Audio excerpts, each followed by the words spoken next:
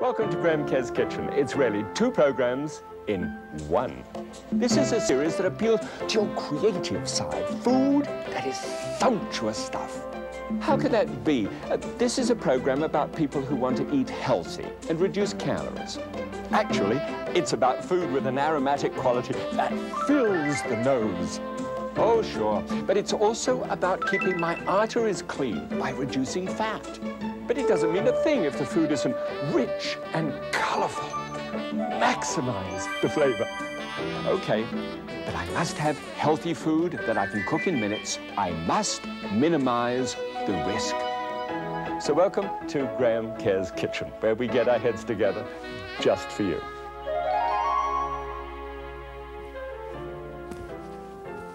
And indeed, welcome back once again. Look, tell you what, this is one of those programs that you wouldn't deny is full of vitality. I mean, if you eat this kind of food today for, for the rest of your life, you'll live forever. No, well, it's, it's strictly untrue, but you'll have a lot more life in your years rather than adding years to your life, okay? Come through. I'll show you. Um, I'm going to do just a simple little technique in there at the beginning, which is I call stack and steam, and I'll show you that in a moment. Um, but really, the most important thing that I want to say to you now is um, when you grew up, were you terrorized by mum who said, eat up your vegetables? I mean, you know, it's supposed to happen everywhere, all over the world. And there's a, co a common sort of vision, I think, when I've spoken to people. They say, eat up your vegetables, and you think of these poor, tired looking things in a bowl like this. They're barely steaming on the top. And, and, and if they had faces at all, they would look like this. They'd say, oh, God, you know, there's nothing you know, it's just tired and pallid and everything else. But it doesn't have to be like that. You see, I think that you can steam a vegetable with fresh herbs added all over them. Just and, and, choose a herb that goes with the vegetable perfectly, and then season them. Spike it a little bit. Throw seasonings like fresh cracked pepper in as well. And before you know where you are, the whole vegetable dish is alive and saying, you know, with vitality, having fun. Well, now that's what this program's all about. How to take vegetables that could have terrorized you and turn them into something that you can't wait to have a go at. You ready for it? Come on, let's have a go.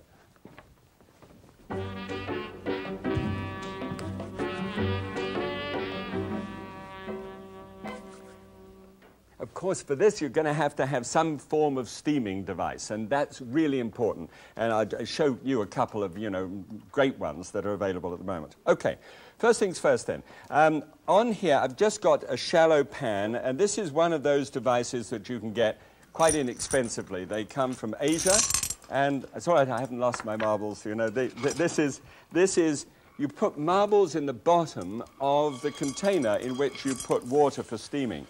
And if you do that, you can put about an inch of water in there, and if it should by chance boil down, you know, almost away, then these marbles, a tremendous racket inside the pan, and they'll let you know.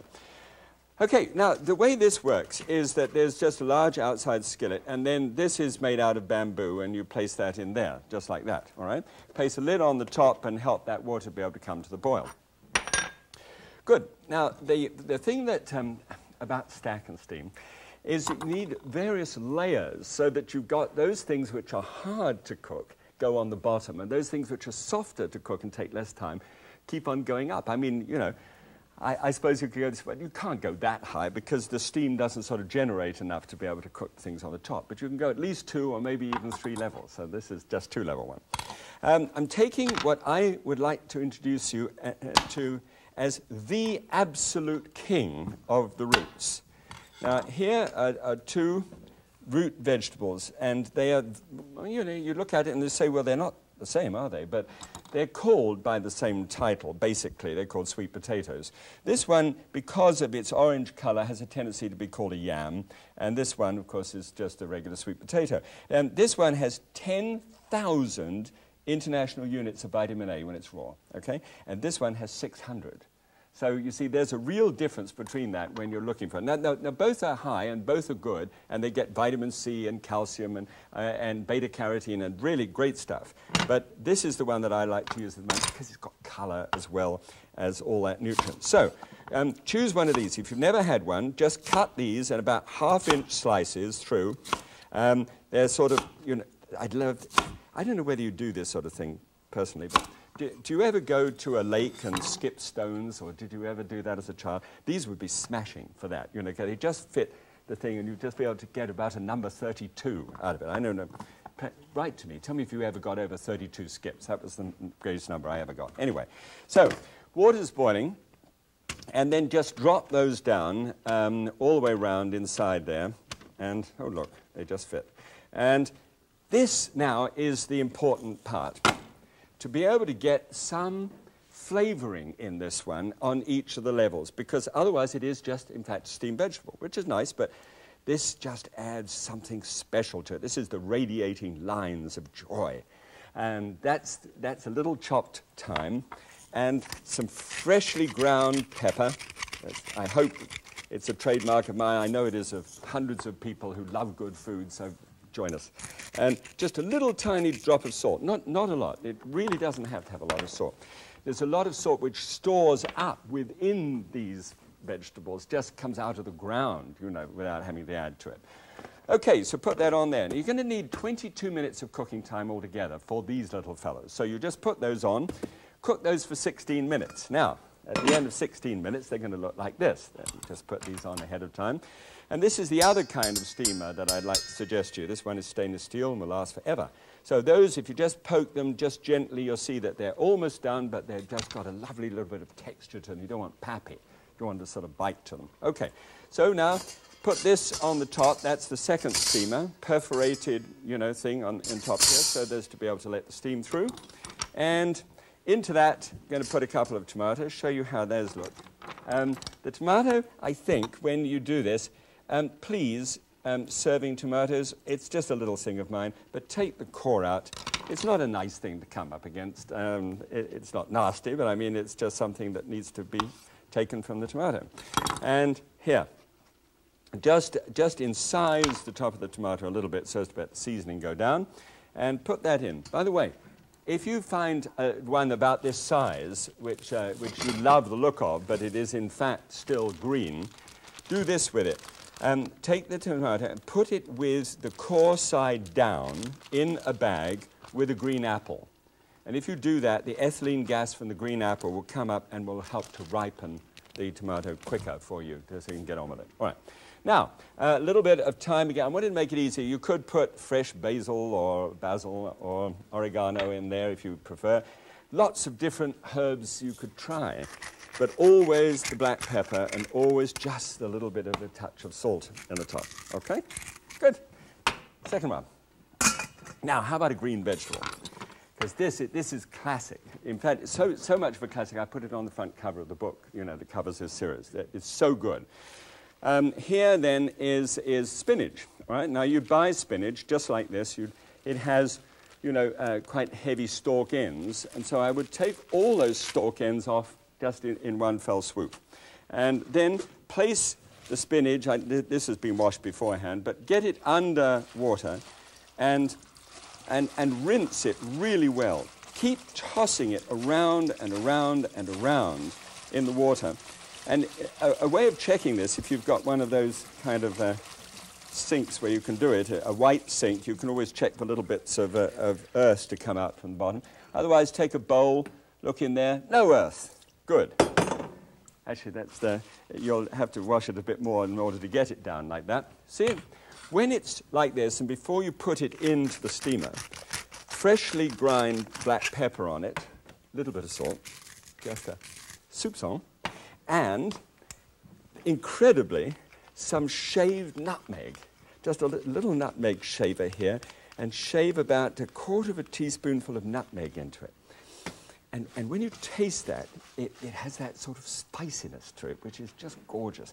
Right, when the tomato's been going for three minutes, right, uh, lift the lid up there and just put uh, the spinach right over the top. Just stack it over the top there. Okay? And in fact, it, it, you can actually bounce the whole pound of it on the top. If you like, there's just enough. I just want to make sure that it's done when we try it. All right, now, next thing is just the cheese. And this is the big deal. If you go to uh, one of those marvelous family restaurants and they say vegetarian plate. By the way, always put a clip or something, um, keep your cheese in a block form and do keep it in a plastic bag. It saves it from getting all sort of dry. Um, it'd be fairly dry anyway, but this is drier still. Um, and, and then on goes the cheese sauce, right? You want your vegetarian dish and cheese plate with, with cheese sauce. And this cheese sauce has to apparently, by the way, this is, um, this is a piece of Parmesan. Parm, it isn't Parmigiano Reggiano. You know that because it's got this black plastic shield on the outside that says that it's American. So this is an American copy of the um, Italian Parmesan. It's a very good cheese, and, um, and I'm going to get back to what I was saying in just a moment. It's a very good cheese, and if you use a little, this is the simplest grating device I know. It's, a, it's called a cheese stroker, at least that's what I call it. And so stroke that out so that you've got just four tablespoons full of cheese. You'll have to, I, am going to estimate that that's just about that for four people. Um, just one tablespoonful per head. Keep that on, on one side. It's great taste. Well, you see, what the trouble is, you've got this incredible looking um, uh, vegetable dish, all right? and then this velvety soft cheese stuff is all over the top of it. That adds up. It truly does. I know it tastes delicious, but it adds up. All right, let's have a look at this. Um, what I normally do uh, with the spinach is take the spinach here, and it, it's that quick to do. This is at the end of the 22 minutes. So you just take the spinach, place it into a sieve, and if it's got any surplus water on it at all, you've got to press that out. All right, keep that there for a moment. And this is what it looks like now. You take, oh, look at that.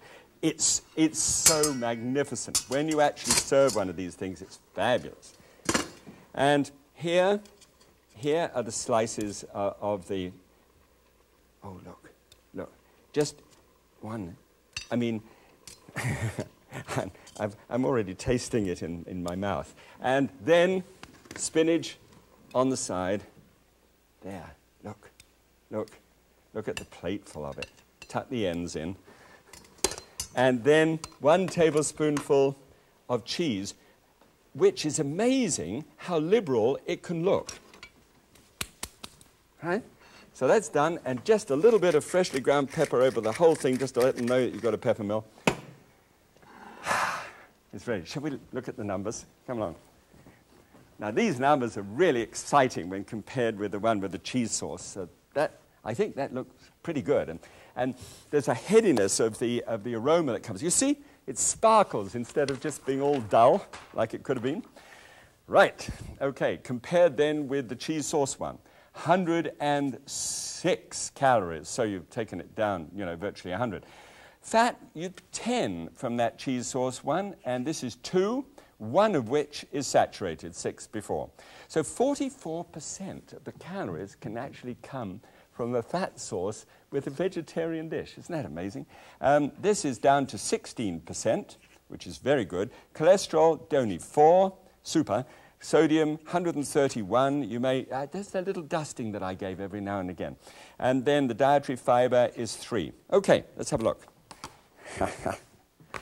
this actually, I have to tell you, is one of the most wonderful things to eat in the whole world. I take just a little bit of, of the tomato and a little bit of that soft, melting portion there. And oh, God, I've got a spinach here. I'm going to have it all together. Huh?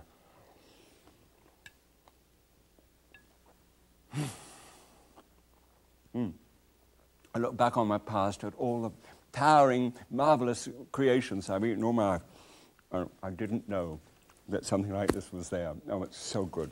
Please give it to people you love and like. it's very good. Springboard the idea of the stack and steam. See? Okay. Now, I'll springboard too. Now, and I'll do a dish, but I'll add some fish into that as well and show you how to do one pot, okay, on one element, okay? Just a whole dinner in just one element. Huh? Coming right up.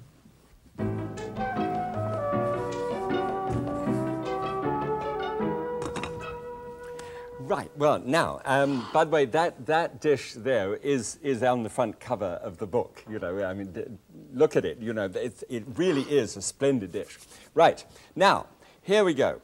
Uh, in the bottom of the pot this time, it's just a slight difference. This is the whole idea of springboarding, so I'll show you the technique and then the difference. Now here, rolling around, is the, is the skin off one lemon and four um, sage leaves. This is a little somewhat wilted now, but there's a sage leaf and a bay leaf here. And that's it. Four sage leaves, one bay leaf, and a bit of lemon. And what's happening already is that it's extracted flavor from there. And so when I actually steam something in this, it's really going to sort of um, catch on, you know, with the fish that I'm going to do. Um, when you um, do fish, you can either do it specially, and I'll, I'll, do one of those dishes for you sometime, where it drips down into the liquid and then you save the liquid. But in this case, I want to season the fish with the liquid.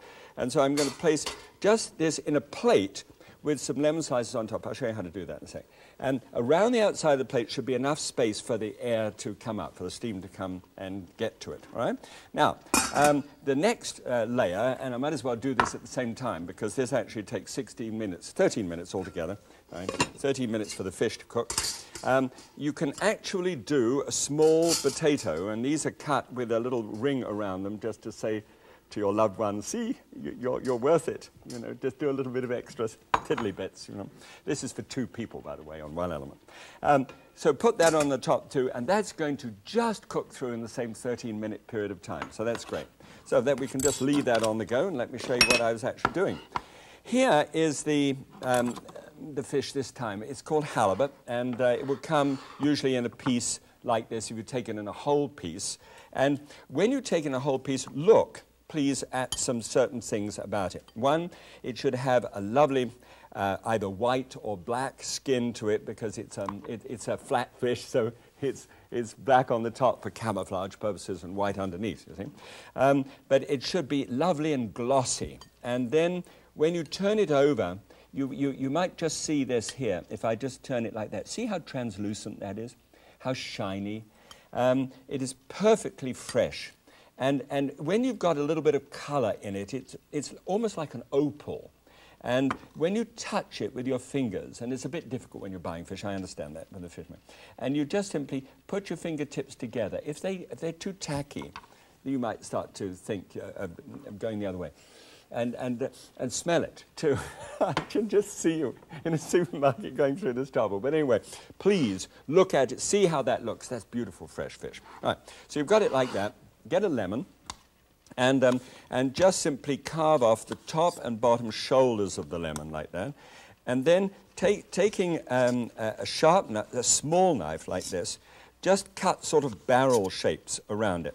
What I'd like to try and do here is to be able to get all of the heavy inside pith and skin out of the way. I've got little bits by the look of it there, but it's going quite well. And then um, cut this in very fine slices. The idea is that we actually want to get a, a kind of garnish going that actually cooks on the fish at the very same time. Okay, so that's done. Um, and then very tiny, hello, very tiny, thin slices right across. And just keep praying as you go through that it's one of those ones without any seeds in it, without any pips. So that, oh, there's a pip. Right, try and get the pips out of the way when you get down to it. One, two, three, four, five, six. Oh, well, that'll cover it. Um, and then just lay that, those overlapping over the top of the fish like that. No, nice. And it's a very frail and gentle kind of garnish, but it also seasons the fish at the same time and does without having to sort of um, lace the thing with salt any more than it is already. And uh, so I think that looks pretty good. All right. Now that is how it goes into the pot, and I showed you how that works. Then um, some vegetables here. This is the courgette, as it's called, or a zucchini, um, trimmed top and bottom. Run the knife blade down and through it, and then just halve it once again, just like that. That's ready to go. And some asparagus. Oh, don't you love it when asparagus comes into season? Especially asparagus like this. You see, I, I don't like asparagus where it looks like redwood trees, you know, the, the, the great big fat things, um, uh, unless they come from Belgium cellars. They're quite fun. Um, send, send in a card if you don't know what I'm talking about. I haven't got time. Um, so here is the, the, about the thickness of it, about pencil size, and um, just for two people, just enough to be able to just get the palm of your hand around. Okay. Well, let's look at this. Now, about, when it's had about this amount of time, then just um, raise the lid, and pop in the, the two branches of the, and I, I always keep them separate so, so as to um, make sure I've got exactly the right amount, you know, for, for Treena and the right amount for me. Ah, look, put these in, um, green side down, right, like you lay turf, and all done. A little bit of pepper, and just, just sprinkled over the top. You'll need about eight minutes on these, and a little bit of salt over the top there. Lovely. And smash it on. Gosh, just one element, one pot, two people. Great. Sauce. Now, this is what I call a whip. And a whip means that it's a work in progress, and I just thought it would be nice to be able to share something with you as a work in progress just for once. And what this is, is strained yogurt, you know, which is the customary thing that we do with strained yogurt. Just take um, a non fat yogurt and uh, put it in one of these little uh, strainers here and keep it for about five hours, and it goes lovely and smooth like this. Then take just a little, um, just a knife blade, and what that means is just the tip of a knife, okay? Just the tip, just about that much, of saffron. I don't like artificial colors. So I color things with things which are real. And so saffron colors that a beautiful buttery, lemony kind of color, doesn't it? it looks like mayonnaise almost. Um, about an, an, eighth of a teaspoon, I say to work in progress because we're, we're doing this at the moment, one eighth of a teaspoon, and really excited about what this can mean. Um, a, a teaspoonful of maple syrup because of that really acidic taste that you can get sometimes, you know, from, from yogurt. Um, a tablespoonful of parsley, and just a couple of sloshes of Ariel. You see, you can do a couple of sloshes. When you're doing work in progress, you, you, can, you can actually slosh it in. Now, I'd like you to try this and see what you think. If, if you love buttery sauces and mayonnaises and everything else, you may say to yourself, yeah, Graham, you know, a little salt perhaps, rather. Graham, I think that's a little, you know, acidic on the back of the tongue. And I said, fine, well, if, why don't you just use the 2% yogurt and strain that and, you know, creep up on it, all right? Now, that's lovely. That's right. Okay, well, this has still got four minutes to go. I tell you what, here, here look. Um, aerobic exercise, very good, you know, lose weight and everything else like this. Here's a quick one. Stand up, do this with me. Hands on hips, ready? Okay, go.